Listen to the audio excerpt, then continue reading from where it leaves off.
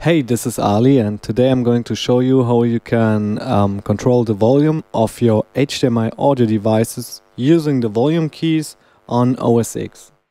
Normally you can't do this because OS X is passing through the audio stream of the HDMI device directly to the sound card and in order to lower or higher the volume the stream would have to be unpacked and repacked again.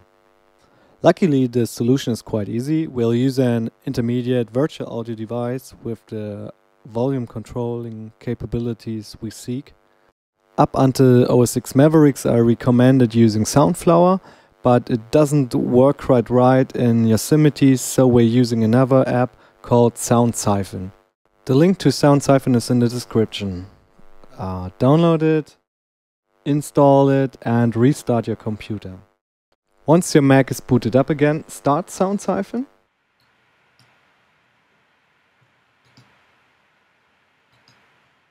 Go to Preferences and select your HDMI audio device as a pass-through device. For me it's HDMI, but it could be DisplayPort or something else.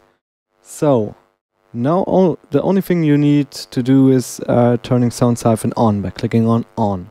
This will automatically set Sound Siphon as the uh, as a current audio device. You can check this out by alt clicking on the speaker symbol in the status bar.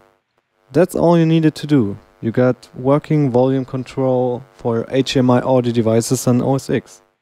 Thanks for watching and have a nice day.